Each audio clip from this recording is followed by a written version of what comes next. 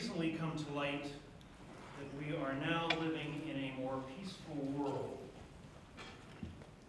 This counterintuitive claim comes in two recently published books. One is by Steven Pinker, and it is called The Better Angels of Our The Nation mic isn't working. Why Violence Has Declined. The other is by Joshua Goldstein, and it is entitled Winning the War on The Decline of Armed Con- Conflict Worldwide. Both of these fine books argue that violence, as the subtitle suggests, is on the decline, and that our world is becoming more peaceful. On the face of it, and the assumption in both books is, understandably, that this is a good thing. I think it's possible, I think it's possible to divide people who study things like conflict and conflict resolution into two groups. We'll call them realists and believers. Realists argue that fundamentally the world has not changed over the millennium. When it comes to issues of life and death, people behave in essentially the same way that they did 100 or 1,000 years ago. If I shout fire in a crowded room, most people will rush for the door, and as, and as has, hap- has happened often in overcrowded nightclubs where there is one exit, people die in stampede. This unfortunate set of events continues to repeat itself, and we appear to be unable to change this element of human nature. In similar ways, realists assume that conflict is inevitable. There will always be somebody who is willing to do you harm or to prioritize their interests over yours. Believers, of course, see things differently. For them, that the world has changed is self-evident. It is never easy and it may be slow, but the world is always getting better. Civilization evolves. We no longer practice slavery or engage in dueling. Fewer parents today resort to corporal punishment than in their parents' generation. From this perspective, there is certainly nothing that is inevitable about violence This is good too. or conflict. Through a combination of reasoning, understanding, and technology, we are able to solve or resolve most of our problems or conflicts. If we see Steven Pinker and Joshua Goldstein as two of my believers, how would a realist respond the thesis of their books? What would a realist say about the prospect of a more peaceful world? What would be the, the consequences of declining violence? What would be the upshot of a world where peace is prioritized above all else? Was conflict always a destructive process? In an effort to answer these questions, let me make three points. My first comment is to point out that there are a number of factors which contribute to a more peaceful society. But undoubtedly, one of the most important of these is the idea of a state. In, in the most familiar definition, the state is said to be the entity that has a monopoly on force over power or, or power over just about everything else in its territory. The state is also the rules and the institutions, the bureaucracy in a given country. States allow large populations to live together. If not for states, it is sometimes argued it is unlikely we could live uh, with anything like the present numbers of people that inhabit the world today. Furthermore, it's pointed out that in places like Somalia, or the Democratic Republic of Congo, or Afghanistan, those countries have had terrible problems with violence because they have no state or else a very weak state. Countries like Canada, or the United States, or those countries in Western Europe, by contrast, are peaceful because they have a state, a state that is strong.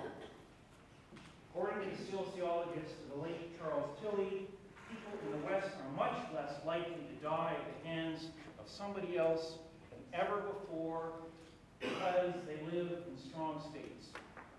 We may think we are more peaceful by nature, say the realists, when in fact the state is responsible for the peace that we enjoy. The problem is state creation is hard to do. And historically, it has involved a kind of Faustian bargain. In order to get peace, it has often involved the pacification of hundreds of internal rebellions and warlords, or those who simply resist being ruled by someone else or someone they do not like. And that requires force or some kind of coercive means. As the American author and narrator David McCullough has stated, between 1861 and 1865, Americans made war on each other and killed each other in great numbers, if only to become the kind of country that could no longer conceive how that was possible. From this perspective, the peace that we enjoy in the West today is a consequence of the violence that was carried out yesterday. Although this history is remembered selectively or not at all when it comes to Western policies towards developing countries. When groups such as Amnesty International call for peaceful conduct by contemporary governments in Africa or Asia or the Middle East, they may be doing the right thing from an immediate and moral perspective, but it would be fair to wonder if heeding their advice will ever lead to the same kind of state we find in the West today. A more peaceful world may mean that Western states remain calm, whereas, for lack of a state, many developing countries will remain in the condition of unending anarchy. Relatedly, and this is my second point, there is also a case to be made that war and conflict has been an important source of development. For some, the measures that you take in response to the threat from abroad is the political equivalent of you going to the gym to train for the big fight you're going to have with me next Saturday night. Among other things, the threat of war forces countries to raise an army, which in turn forces governments to raise taxes to pay for that army. Bureaucracy needed to extract those taxes is, from this perspective, the beginnings of a state. Africa has not had many interstate wars, a remarkable achievement to be sure, except that it has led some to see it as an explanation for its sometimes stalled development. According to the American political scientist Jeffrey Herbst, the lack of external threats to countries in Africa has also meant that there is a lack of internal development. In short, no war equals no development. Of course, Africa has had many wars, but these are civil wars, that is, internal wars, and are a consequence of a weak state being overwhelmed by a multitude of rebel movements that inhabit their unchanging political territories. Since African governments generally do not invade other African countries, the realist argument goes, this development process has never begun. It is again a fair question to ask if development will proceed in places like Africa in the absence of war. Finally, my third point is to question the idea that a more peaceful world is necessarily a happier or a more just place. Peace in the negative sense may be more indicative of sterility or one side's ability to suppress others. You have enemies, Winston Churchill once said. Good. It means for once in your life you stood up for something. Realists believe that there will always be people who are willing to exploit those who are afraid to stand up for something. Sure, peace can always be achieved provided one side is willing to give up, give up things that they believe in. To refuse to stand up to those ideals may mean peace, but it also may mean that you are being dominated by someone else's agenda, or that you will always settle for something that is less than optimal. Nelson Mandela refused to forego violence because of his belief that armed struggle served a more noble purpose, which was to end apartheid in South Africa. The American Civil War was fought because, among other things, people, often women, objected to slavery against the better judgment of her husband, the American Secretary of State,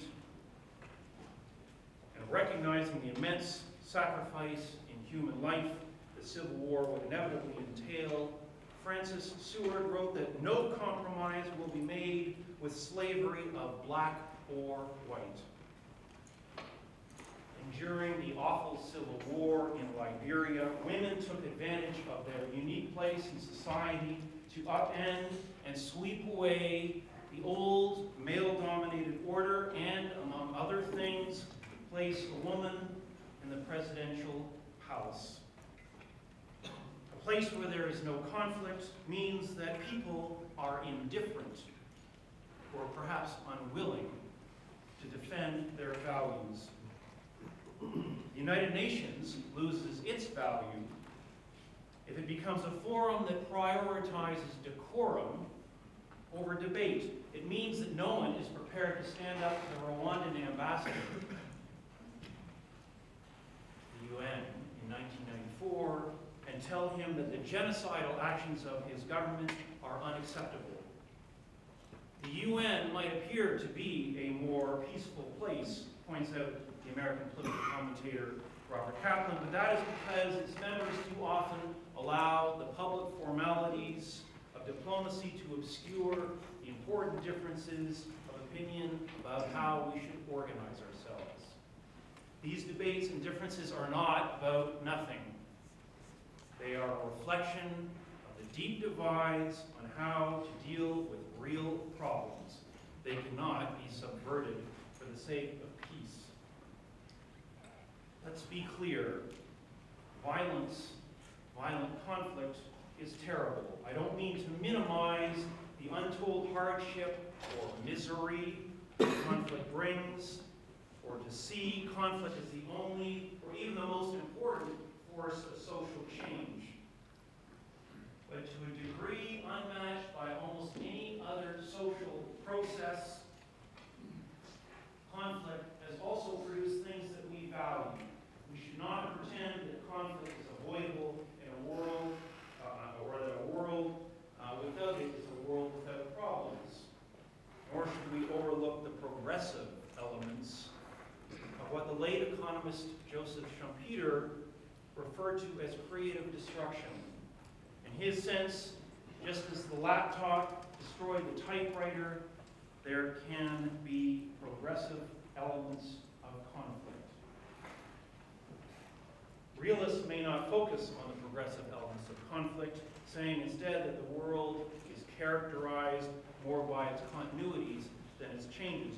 But such creative elements are clearly there. Believers, on the other hand, may seek to avoid violence and conflict, but their embrace of technology and change makes conflict and progress inevitable.